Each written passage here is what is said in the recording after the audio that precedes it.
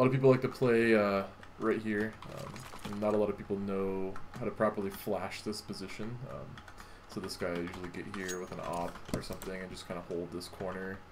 And uh, T-side's trying to come out.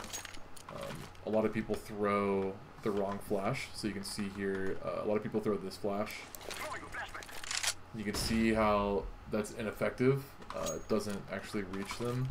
I actually threw that flash for a while, not even realizing that. Um, this is the correct flash. So you run up, right hand throw, guy's super blind. There you go.